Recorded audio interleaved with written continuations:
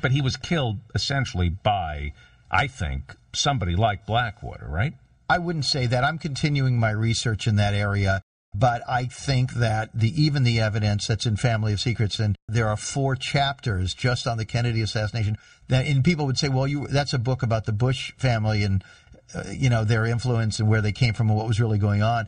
Actually, what it is is it's a series of endless revelations from my research one of which is in relation to my discovering that George H.W. Bush claimed he couldn't remember where he was when Kennedy was shot in, in November 1963. And I, I became so interested in that, and I thought, well, let me just find out where he was.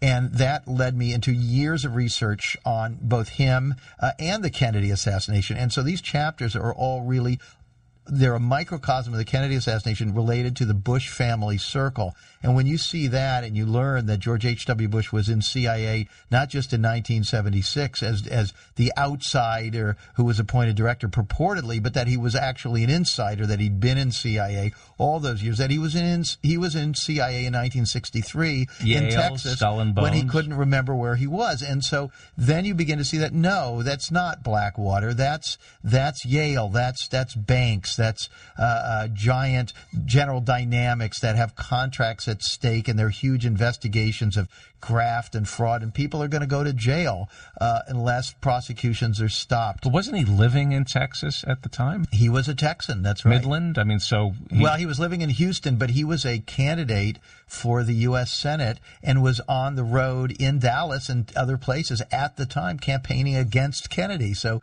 of course, that's a tantalizing thing about where was he and why did he claim he didn't remember? And the answer takes us down this rabbit's hole what I want to emphasize, I think this is important, is that I am not a person who carries very strong uh, theories and certainties about why thing, particular things happen and who did it or something like that. I'm not that kind of person. I'm very much of a serious investigative reporter where I go into every story fresh again with the idea. So, for example, I won't buy it that because I heard that George Bush is dumb, that he's actually necessarily dumb. I want to see the evidence. And now, Richard Nixon was in Dallas the day before. Yeah, he was there that day, actually, and he lied about it. He actually lied about it to the FBI. He said he had left several days before, but he, he didn't. He left several hours before. Could an argument be made that there's the Academy Awards? You suddenly find, oh my God, Steven Spielberg and Jeffrey Katzenberg are in the same room. Is there a conspiracy? Why were they all? Well, it was the Academy Awards. How big an event was John Kennedy coming to Dallas? I would think Kennedy coming to Dallas was a big thing and that a lot of people showed up for it because it was kind of like a convention of opportunists? No, it actually was not a big thing. It was only a big thing in the sense that certain people who I believe were setting up the scenario. This is again a classic intel thing that people like Howard Hunt and David Atlee Phillips they had done the same thing. In Who's Gu- David Atlee Phillips? Oh, these are top CIA operatives.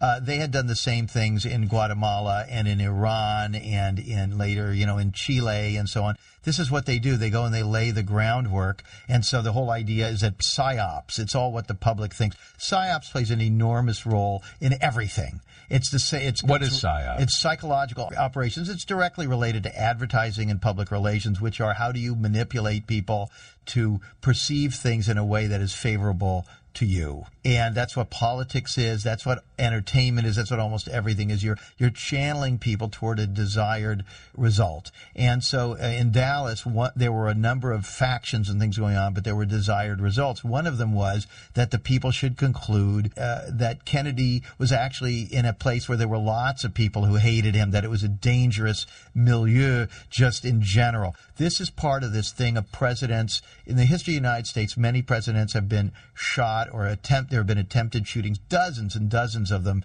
uh, as recently as a man shooting into the Obama White House, uh, several shootings at Gerald Ford, et cetera, et cetera.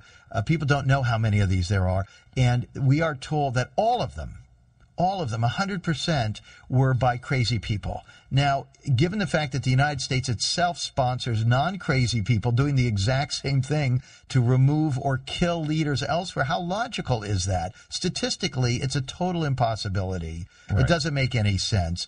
And so, as a serious thinking person, you have to be open to the idea that somebody is dis- deliberately misleading you into thinking that 100% of these things are, are nuts or loners. Now, as far as Dallas goes, they were creating a milieu with that ad, that big black bordered ad in the Dallas Morning News that morning that was kind of a, a, a, threat to Kennedy. And it had a bunch of signed names on there, a bunch of Jewish names, which was crazy because, of course, Jews didn't hate Kennedy, but by uh, people, the, the people who actually were behind the ad were people who thought, you know, well, let's, let's blame it on the Jews, you know, mm-hmm. and, and this is all psyops. Well, he did get shot in the temple. That's an old joke, oh, I think, about Lincoln getting uh, shot in the temple. Yeah. Uh, anyway, I was just going for a joke. Yeah, well, why not?